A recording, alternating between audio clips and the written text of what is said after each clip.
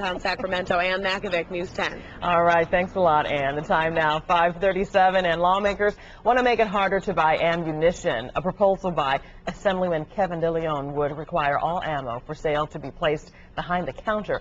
It would also force stores to apply for a vendor's license to be able to sell ammunition and require buyers to leave a fingerprint and their driver's license information and allow law law enforcement to review those records. Gun owners said the proposal is absurd, especially since the familiar program at the federal level didn't result in a crime solved.